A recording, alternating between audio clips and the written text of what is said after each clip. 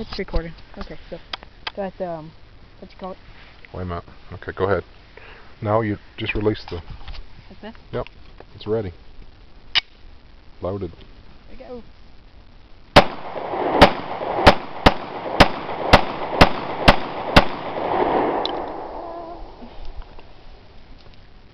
Clear the chamber.